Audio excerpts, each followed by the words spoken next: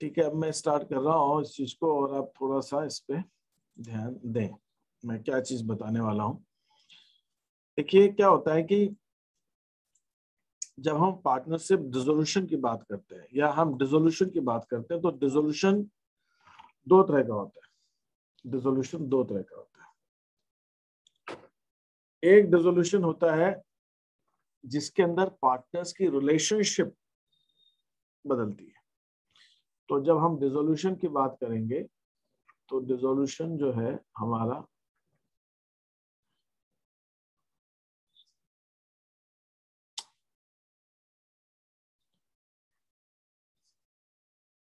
भाई, अब आप लोग थोड़ा सा आ जाए करिए टाइम पे। मैंने आज आठ मिनट वेट किया, आठ मिनट उसके बाद भी, अभी भी आप लोग आ रहे जब मेरा मैसेज लेट आया तो बात समझ में आती कि सर आपने लेट इन्फॉर्म किया। आज तो मैंने डाल दिया था।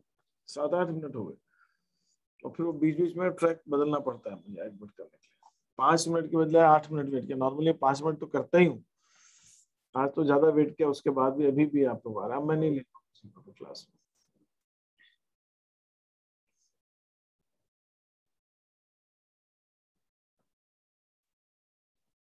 तो डिजोल्यूशन ऑफ़ पार्टनरशिप और डिजोल्यूशन ऑफ़ फर्म ये दो तरह की डिजोल्यूशन होती है। इसको हम कहते हैं साझेदारी का विघटन। साझेदारी का विघटन।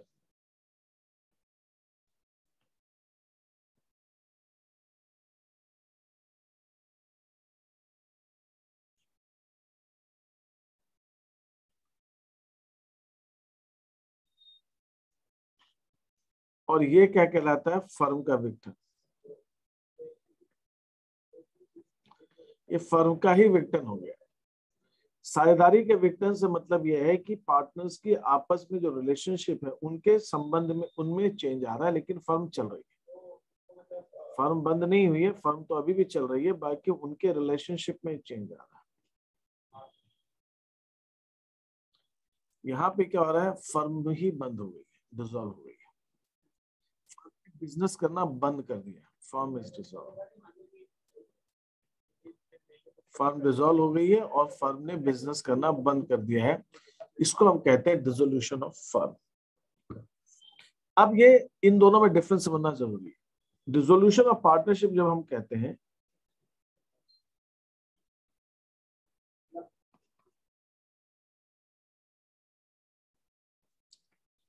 तो वो एडमिशन में भी होता है। रिटायरमेंट में भी होता है। डेथ में भी होता है। ठीक है एडमिशन है रिटायरमेंट है डेथ है। ठीक है चेंज इन प्रॉफिट शेयरिंग में भी होता है। तो इन सब केसेस में वो पार्टनरशिप का डिजोल्यूशन होता है। मतलब पहली अगर पार्टनरशिप है ए और बी की, जिनका रेशियो थ्री टू टू तो हम ये कहते हैं ए बी की फर्म खत्म हो गई है। अब ए बी सी की नई फर्म आ गई है, जिसका रेशियो है टू टू वन तो ये पार्टनरशिप फर्म डिजोल्व होगी। पुरानी, दूसरी पुरानी पार्टनरशिप डिजोल्व होगी और नई पार्टनरशिप आ डिजोल्यूशन ऑफ़ पार्टनरशिप की। तो डिजोल्यूशन ऑफ़ पार्टनरशिप में क्या होता है? ये पार्टनरशिप फर्म डिजोल्व हो गई तो ए और बी पार्टनर्स हैं। और ए और बी पार्टनरशिप का, इनका पुराना रेशियो था थ्री टू टू तो ये वाली फर्म डिजोल्व हो गई, ये वाली पार्टनरशिप डिजोल्व हो गई, नई पार्टनरशिप बन गई एबीसी की। अब थोड़ी देर के लिए मान लीजिए एबीसी की पार्टनरशिप है, इनका रेशियो है आपस में two two one C retire हो गया, अब ए बी पार्टनर्स बचे, इनका नया रेशियो थ्री टू टू है। तो हम ये कहते हैं कि ये वाली पार्टनरशिप डिजोल्व हो गई, ये वाली पार्टनरशिप बन गई। तो और मान लीजिए एबीसी ही पार्टनर्स है, पहले टू टू वन था अब एबीसी पार्टनर्स हैं, अब इनका रेशियो हो गया three two two two one तो ये वाली पार्टनरशिप डिजोल्व हो गई, ये बन गई। तो एडमिशन हो रिटायरमेंट हो चेंज इन पीएसआर हो डेथ हो तो हम उसके अंदर कहते हैं पार्टनरशिप डिजोल्व होती है। फर्म तो काम करती रहती है रिलेशनशिप बदलता रहता है। पहले दो पार्टनर के बीच में रिलेशनशिप थी, अब तीन हो गए, या तीन के बीच में दो हो गए, या तीन के आपस में बदल गए, पहले बराबर बराबर थे, अब और कोई रेशियो हो गया। तो इसको कहते हैं डिजोल्यूशन ऑफ़ पार्टनरशिप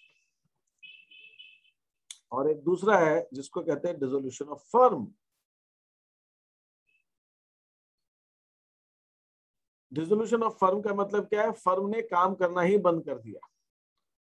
फर्म बंद हो गई। फर्म बंद हो गई, उसकी सारी एसेट्स हमने बेच दी हैं।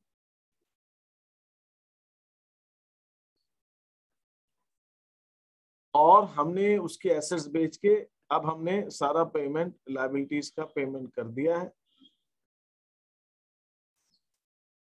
शेयर पार्टनर्स का रिलेशनशिप भी खत्म हो चुका। रिलेशनशिप भी खत्म मतलब डिसोल्यूशन ऑफ़ फर्म जब होगी तो उसके अंदर डिसोल्यूशन ऑफ़ पार्टनरशिप तो होगी ही होगी। मतलब dissolution of partnership dissolution of firm के अंदर अंतर्निहित है। जब फर्म डिसोल्व होगी तो पार्टनरशिप भी डिसोल्व होगी लेकिन सिर्फ़ अगर डिसोल्यूशन ऑफ़ पार्टनरशिप है तो फर्म बंद हो ज़रूरी नहीं। और कैपिटल का हमने पेमेंट कर दिया। कैपिटल पेड ऑफ़ तो जब डिसोल्यूशन ऑफ़ फर्म है तो फर्म डिजोल्व हो गई मतलब फर्म ही बंद हो गई, सब बिज़नेस बंद, सब चीज़ खत्म। ये इन दोनों में बेसिक डिफरेंस है, ये अपने को डिफरेंस समझना है।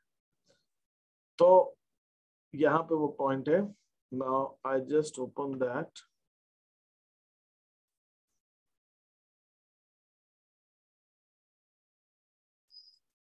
मुझे जो क्वेश्चन भेजा आया था, ये भेजा था। जैसा पहले भी वर्णित किया गया है कि साझेदारी के विघटन से साझेदारों के मध्य संबंध पुनर्गठित होते हैं। पार्टनरशिप का जब विघटन होता है तो पार्टनर्स के आपस के संबंधों में चेंज आता है। परंतु फर्म अपने व्यवसाय को पहले की भांति करती रहती है। तो साझेदारी का विघटन वो है पार्टनरशिप का डिसोल्यूशन जिसमें रिलेशन बदलता है। अब ये साझेदारी का विघटन कब होता है पार्टनरशिप का? जब रेशो बदलता है एडमिशन होता है रिटायरमेंट होता है मृत होता है, कोई एक पार्टनर दिवालिया होता है, सबनी एक। अगर एक पार्टनर दिवालिया होगा और दो से ज़्यादा पार्टनर हैं तो वो पार्टनर चला जाएगा, बाकी को तो चलाएँगे ना फर्म उसमें क्या हो तो रिटायरमेंट जैसे ही हो गया। लेकिन एक के अलावा सब हो जाए, तब तो साझेदारी क्या, वो फर्म का डिसोल्यूशन हो जाएगा फर्म ही बंद हो जाएगी। सर अगर डिजिलेशन ऑफ़ फर्म होता है तो उसमें मतलब फर्म चलते रहती है ना? नहीं डिसोल्यूशन ऑफ़ फर्म मतलब फर्म बंद सर पार्टनरशिप होती है मतलब। डिसोल्यूशन ऑफ़ पार्टनरशिप का मतलब होता है पार्टनरशिप चलती रहती है।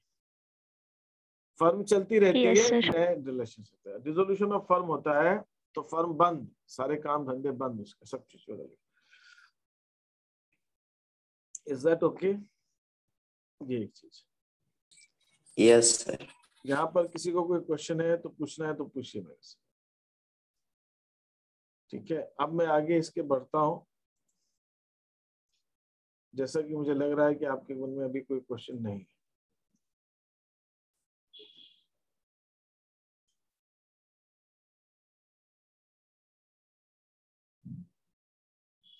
ठीक है। Now i'm moving further with this. ये मीनिंग ऑफ़ रेजोल्यूशन ये मैं आपको भेजूँगा। ये सब चीज़ें, ये एनसीईआरटी में रीजन दे दिए इंसॉल्वेंसी ऑफ़ पार्टनर जिस काम के लिए पार्टनरशिप बनाई गई है, वही बंद हो जाए, ये एक्सपायरी हो जाए। ये दे दिया एनसीईआरटी में, लेकिन ये तो आप इसको डिसोल्यूशन ऑफ़ फर्म मानिए। डिसोल्यूशन ऑफ़ फर्म इसको हटा जल्दी। ठीक है, ये आपके रीजन फिर डिसोल्यूशन ऑफ़ फर्म की बात की उन्होंने। डिसोल्यूशन ऑफ़ फर्म माने फर्म बंद हो गया। फर्म कब डिजोल्व होती है? फर्म कब डिजोल्व होती है? एग्रीमेंट से। पार्टनर्स ने आपस में एग्रीमेंट किया हुआ है कि ऐसा हो जाने पर हम फर्म को बंद कर देंगे। तो वो काम हो गया होगा फर्म डिसॉल्व हो गई ठीक है, जब सारे पार्टनर्स आपस में सहमत हो जाए कि फर्म को बंद कर देना चाहिए, या उन लोगों ने आपस में ऐसा कॉन्ट्रैक्ट कर रखा है, वो कॉन्ट्रैक्ट की खत्म हो गया टाइम तब बंद हो जाएगा। जिस चीज़ के लिए उन्होंने किया था कि हम एक कॉलोनी डेवलप करेंगे कॉलोनी डेवलप करके एक ज़मीन खरीदी मिलजुल के उस पर उन्होंने प्लॉट्स काटे कॉलोनी को बनाया और उन्होंने कहा हम सारे प्लॉट्स वगैरह बेच के प्रॉफिट लेके घर खत्म। तो उन्होंने ऐसा कॉन्ट्रैक्ट किया था कि कॉलोनी बनाने के लिए। वो फर्म कॉलोनी बन गई। फर्म जो है सर जैसे मेजोरिटी पार्टनर्स की कंसेंट है कि फर्म डिसॉल्व हो जाए तो? नहीं तो है तो उसमें कोई दिक्कत नहीं। नॉट ओनली मेजोरिटी एक सिर्फ़ एक। है ना? वो भी कह रहा हाँ अलग बात है कि वो जब एक कह रहा है और चार पार्टनर है एक कह रहा है तो कहेंगे भैया तू अलग हो जाए यार। हम ही क्यों बंद कर रहा है? वो अलग चीज़ है। लेकिन अगर वो चाहे तो एक बंदा भी नोटिस देके फर्म को डिजोल्व होने की बात कर सकता है। वो कोई बात नहीं वो अलग चीज़ है कि वो आपस में ऐसा एग्री कर ले कि हम डिजोल्व नहीं करेंगे बाकी सब चलाना चाहते हैं और जो एक जाना चाहता है वो चला जाए छोड़। उसमें कोई दिक्कत ही नहीं। लेकिन अगर कोर्ट में जाता है वो कॉन- हाँ बोलिए। क्या? जैसे किसी कॉन्ट्रैक्ट के लिए पार्टनरशिप बनी है तो वो कॉन्ट्रैक्ट खत्म होने के बाद हम लोग कंटिन्यू करना चाहे तो नहीं कर सकते। कर सकते हैं लेकिन अगर उन्होंने कॉन्ट्रैक्ट ही ऐसा बनाया है कि हमने हमने आपको एग्जांपल कह दिया अभी। मैंने क्या कहा? कॉलोनी बनाने के लिए उन्होंने एक, पार्टनरशिप बनाई। और उन्होंने ये तय किया है कि कॉलोनी हमारी बन जाएगी तो कॉलोनी को हम प्लॉट काट के सब बेच देंगे और फिर बंद कर देंगे। तो बन गई कॉलोनी बेच दिए प्लॉट्स तो बंद कर देंगे। जब उन्होंने कैसा कॉन्ट्रैक्ट कर रखा है अब उसमें चलाना चाहे तो चला ही सकते हैं उसमें कोई बात थोड़ी। लेकिन अगर ऐसा कॉन्ट्रैक्ट किया है तो फर्म बंद हो जाएगी ना ऐसा मतलब कहने वो चलाना चाहे तो बिल्कुल कर सकते वो कोई दिक्कत सर जैसे किसी विशेष कार्य की पूर्ति के लिए उन्होंने फर्म का गठन किया। बिल्कुल कॉन्ट्रैक्ट किया है मतलब किसी विशेष कार्य की पूर्ति के लिए उन्होंने कॉन्ट्रैक्ट किया। और जब वो कार्य कार्य खत्म हो जाएगा तो फर्म बिल्कुल बंद हो सकती है यही बात है। बिल्कुल सही। ये तो हुआ एग्रीमेंट के थ्रू इसमें किसी की ज़ोर ज़बरदस्ती नहीं है। आपस में एग्रीमेंट करके उन्होंने डिसाइड किया और फॉर्म को रिजोल्व कर दिया। ये तो बात हुई है एग्रीमेंट वाली बात अब हम दूसरी बात करते हैं। कंपल्सरी कंपल्सरी कंपल्सरी माने आप चाहो या मत चाहो, बंद करना ही पड़ेगा। कब? जब सारे पार्टनर्स एक के अलावा दिवालिया हो जाए। या फिर वो लोग उनके ऊपर कॉम्पिटेंट नहीं रहे मतलब साइन करने एग्रीमेंट करने के कॉम्पिटेंट नहीं एग्रीमेंट करने के कॉम्पिटेंट से मतलब क्या है? कोर्ट ने उनको किसी चीज़ को अयोग्य ठहरा दिया। कोर्ट कब अयोग्य ठहरा देता है? किसी को कोर्ट अयोग्य ठहरा देता है जब कोई उसमें से पागल हो जाता है। काम करती इलीगल काम कर दे मर्डर कर दिया जेल में हो गया या कुछ हो गया कोर्ट ने कहा भैया अब ये बिल्कुल कॉन्ट्रैक्ट नहीं कर सकता इसको ऐसा होगा कुछ होगा। तो ऐसे केस के अंदर वो इनकॉम्पिटेंट देखिए पार्टनरशिप जो है ना कॉन्ट्रैक्ट से बनती है। पार्टनरशिप की एक खास बात है वो आप आगे जब पढ़ोगे कंपनी सीए में या सीएस में या जो भी आप कोर्स करोगे उसमें लॉ आएगा पार्टनरशिप एक्ट उसके अंदर आप ये पढ़ेंगे। सर जो बंदा जो बंदा कॉन्ट्रैक्ट नहीं कर सकता वो पार्टनरशिप भी नहीं कर सकता। यस सर पढ़ चुके कॉन्ट्रैक्ट Yes, समझौता है। तो बिना पार्टनर कॉन्ट्रैक्ट किए हुए आप पार्टनरशिप नहीं कर सकते। तो जिस जिस बंदे को कॉन्ट्रैक्ट करने का अधिकार नहीं है, वो पार्टनरशिप भी कैसे कर सकते ऐसा होता है? ठीक है तो ये इसका बेसिक चीज़ है। तो अगर कोई व्यक्ति एक के अलावा बाकी सारे लोगों को किसी वजह से ये कहा जा डिक्लेयर हो गया कि ये कॉन्ट्रैक्ट करने के काबिल नहीं है तो पार्टनरशिप भी नहीं कर पाएगी। पार्टनरशिप बंद करनी पड़ेगी।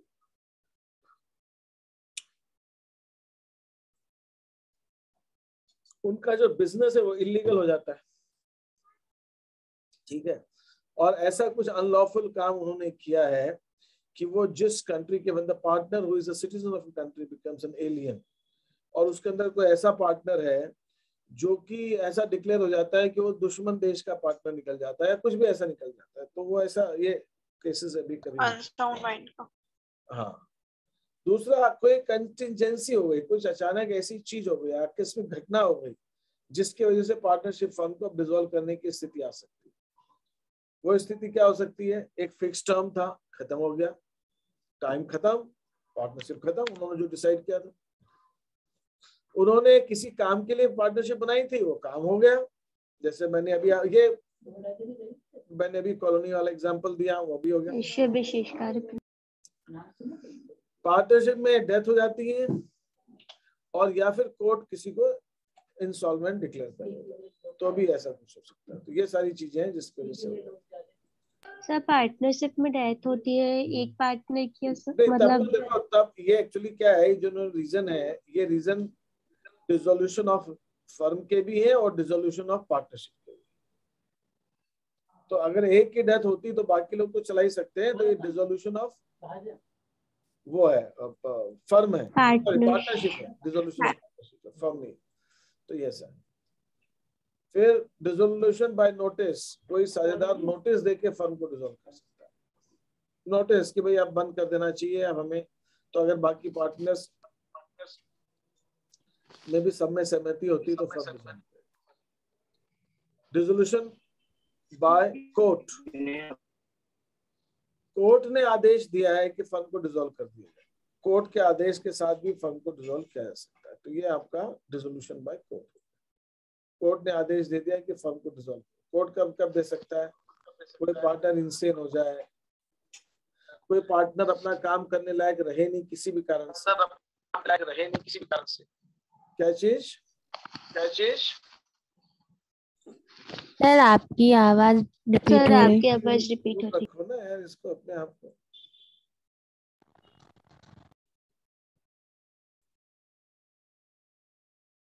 है ना when a partner is guilty of misconduct partner जो है मिसकंडक्ट का कोई ऐसा काम करने के लिए गिल्टी है जिससे कि वो आ, पाया जाता है कि अब कोर्ट फर्म को डिसॉल्व कर देना चाहिए। सर सर जो हाँ। वाला सर वो दोनों जगह पर लगेगा। फर्म में भी और पार्टनर अगर एक के अलावा सब मर गए तो फर्म डिसॉल्व हो जाएगी। एक ही की डेथ हुई है। अच्छा अगर दो लोग हैं उसमें एक की डेथ हो जाए तो भी फर्म डिसॉल्व हो जाएगी।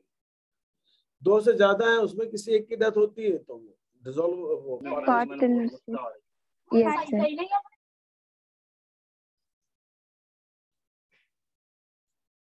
कोई पार्टनर बार बार अपना एग्रीमेंट तोड़ रहा है, अपनी बात को वो कर रहा है, बात नहीं कर रहा मतलब अपने एग्रीमेंट को डिसएग्री कर रहा है। और किसी एक पार्टनर ने बिना किसी को बताए, किसी किसी को दूसरे को पार्टनर बना दिया। मतलब मेरी जगह ये पार्टनर हो उसने ऐसा कुछ लिख के दे दिया उसको, और बाकी से बात ही नहीं की। तो बाकी पार्टनर्स भी कह सकते हैं ये क्या तरीका है? हमसे पूछना चाहिए। बिना हमारे थोड़ी कर सकते हो तो डिजोल्व हो जाएगी। ऐसा लगता है कि बिज़नेस जो है, अब हमेशा लॉस में ही चलेगा। प्रॉफिट में कभी आ ही नहीं सकता तो फर्म डिजोल्व हो जाएगी। या कोर्ट को कोई और ऐसा रीजन लगता है जिसकी वजह से उसको लगता है कि फर्म हम डिजोल्व कर दें फिर यहाँ पे सर अगर जैसे किसी एक ही पार्टनर ने इलीगल काम किया तो क्या सारी पार्टनरशिप को भाई वो कोर्ट अगर इस बात से सहमत है कि ये इसकी वजह से चीज़ें जो है वो कोर्ट को सर जैसे इलीगल कॉन्ट्रैक्ट कर लिया बिल्कुल बिल्कुल बिल्कुल। अगर कोर्ट को लगता है तो कोर्ट बिल्कुल बंद कर सकती है। बिल्कुल।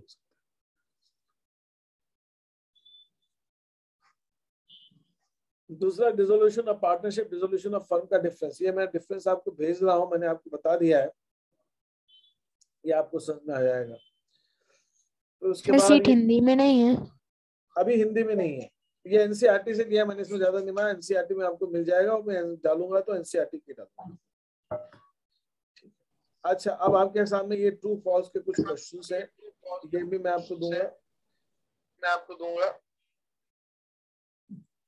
तो ये भी आप उसको कर डालिएगा। That is how you can do that ठीक है? ये एक चीज़ हो गई। फिर सेटलमेंट ऑफ़ अकाउंट्स अकाउंट्स का सेटलमेंट अगर ये फर्म जब बंद हो रही है तो आप इस फर्म को सेटल कैसे करते हैं आपस में? आप कैसे कैसे लोगों को पेमेंट करते हैं इन चीज़ों के और किसको कैसे क्या करें? तो फर्म जब डिजोल्व होती है तो फर्म अगर बिज़नेस नहीं कर पा रही तो अकाउंट का सेटलमेंट आपको कैसे करना है? ये उसके अंदर है। अगर लॉस होता है अब ये जो चीज़ है ना, आपके लेवल पे क्योंकि है नहीं तो मैंने इसमें ज़्यादा दिया नहीं दो एक पॉइंट दिए हैं। ये सिर्फ़ थियोरटिकल पॉइंट ऑफ़ व्यू से इसकी डिटेल में यूज़ आपकी क्लास में अभी नहीं है।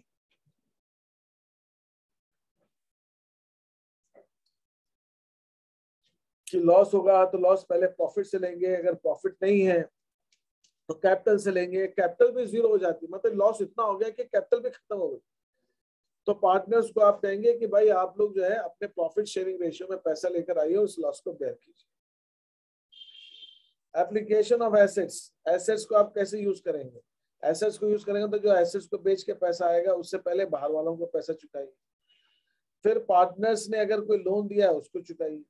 फिर पार्टनर्स की कैपिटल दीजिए और उसके बाद भी बच जाता है पैसा तो उनके रेशियो में आप उनको बांट दें। तो ये इसका सीक्वेंस है। सबसे पहले पैसे से आप बाहर वालों का पैसा चुकाएँगे, फिर पार्टनर्स का लोन चुकाएँगे, फिर पार्टनर्स की कैपिटल चुकाएँगे और फिर भी अगर बचेगा पैसा तो उनके रेशियो में आप बांट अब हम बात कर रहे हैं अकाउंटिंग ट्रीटमेंट की। अकाउंटिंग ट्रीटमेंट कैसे? जब फर्म डिजोल्व होती है तो सबसे पहले हम एसेट्स को बेचते हैं लाइबिलिटीज का पेमेंट करते हैं। ये सब करने के लिए हम एक रियलाइजेशन अकाउंट बनाते हैं। रियलाइजेशन अकाउंट के अंदर हम जो एसेट्स का बेच रहे हैं और लाइबिलिटीज का पेमेंट कर रहे हैं, उसका प्रॉफिट लॉस निकालते हैं और ये प्रॉफिट लॉस निकालने के बाद इसके अंदर हम सारी एसेट्स लाइबिलिटीज को ट्रांसफ़र करते हैं। कौन सी एसेट्स लाइबिलिटीज ट्रांसफ़र नहीं होती है? एक ये हमारे पास कैश इन हैंड बैंक और फिक्टिशियस एसेट्स ट्रांसफ़र नहीं होती। फिक्टिशियस माने वो वाली एसेट्स जो नाम की है, जैसे लॉसेस है। है ना? एडवर्टीजमेंट सस्पेंस अकाउंट वो फिक्टिशियस एसेट कहलाती है, वो सिर्फ़ लॉस प्रॉफिट एंड लॉस का डेबिट बैलेंस वो फिक्टिशियस कहलाता है और फिर हम एसेट्स को बेच देंगे लाइबिलिटीज का पेमेंट कर देंगे और उसके बाद में जो उसमें बेच के और पेमेंट करके जो प्रॉफिट लॉस आएगा वो पार्टनर्स को प्रॉफिट शेयरिंग रेशियो में बांट दिया सर जाए गुडविल भी है ना फिफ्टी गुडविल फिक्टिशियस एसेट्स नहीं है। ये मैंने पहले भी बोला आपको फिक्टिशियस एसेट्स नहीं है गुडविल गुडविल इंटेंजिबल एसेट है लेकिन फिक्टिशियस नहीं। यस ये आप भूलिए नहीं बिल्कुल ठीक है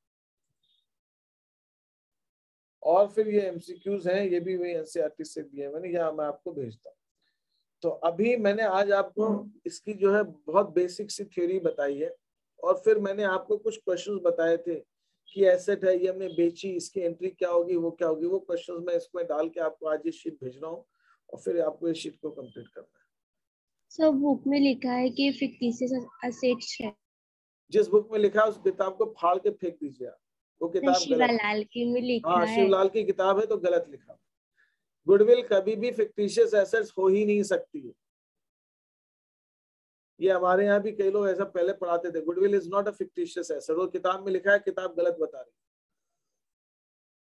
गुडविल को बेचा जाता है गुडविल की कीमत होती है लाखों रुपए की गुडविल होती है आजकल। फिक्टिशियस एसेट्स किसको Yes, कहते हैं? तो फिर आजकल आप कोई बिज़नेस अभी अभी एक सेकेंड अभी अभी अभी रिसेंट बात है टाटा ने एयर एयर इंडिया खरीदी। यस सर है ना वो तो चलो लॉस में थी Air India Air India loss में थी लेकिन फिर भी उसकी कुछ तो गुडविल है। है ना ऐसा थोड़ी गुडविल बिकती नहीं है। गुडविल बिकती है भाई। किसी का नाम आप खरीदने बोलो ऐसा थोड़ी दे देगा वो फ्री में वो बहुत पैसे लेगा आपको गुडविल बिकती है। सर किसी सॉन्ग वगैरह को भी जैसे परचेज करते हैं हाँ गुडविल गुडविल बिकती है और अगर वो जो भी किताब ये कह रही है कि वो फिक्टिशियस एसेट्स है वो गलत कह। है शिवलाल को फ़ोन करके बोल देना। हाँ, या मुझे नंबर दो उसको बोल देंगे क्या तरीका गलत पढ़ा yes sir goodwill is not a Yes, sir. fictitious asset. Goodwill intangible asset है। और इंटेंजिबल एसेट है वो उसको बेचा जा सकता है और उसकी बहुत कीमत मिलती है। तो ये चीज़ें हैं तो मैं आपको शीट भेजता हूँ इसमें के कुछ क्वेश्चन हम करेंगे और फिर हम आगे की बात करते हैं। अभी तक आपको कोई चीज- हाँ बोलिए। सर सीट हिंदी में कर दीजिए सर। आप एक बार एनसीईआरटी से भी पढ़ लीजिएगा। मैंने ये एनसीईआरटी से लिया एक बार आप एनसीईआरटी से पढ़ लीजिएगा। मैं कोशिश करूँगा डालने की। अगर मैं डाल पाए हिंदी में तो बहुत अच्छी बात है। नहीं है तो एनसीईआरटी है आपके पास। सर एनसीईआरटी की बुक ही नहीं है सिर्फ़ लाल की है। मैं भेज दूँगा नेट से डाउनलोड करके भेज दूँगा मेरे पास है। किताब ठीक है पीडीएफ भेज दूँगा वो फ्रीली अवेलेबल है साइट से डाउनलोड किया जा सकता है एनसीईआरटी यस सर